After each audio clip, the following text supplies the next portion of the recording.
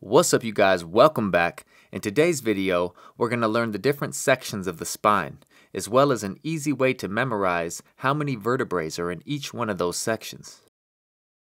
The human spine has five sections, and within those five sections there's a total of 33 vertebrae.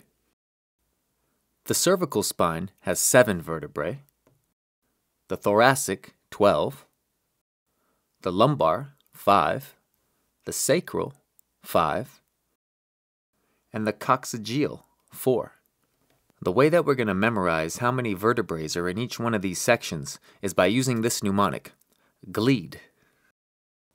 G is the seventh letter in the alphabet, L is the twelfth letter, E is the fifth, E is the fifth again, and D is the fourth letter of the alphabet.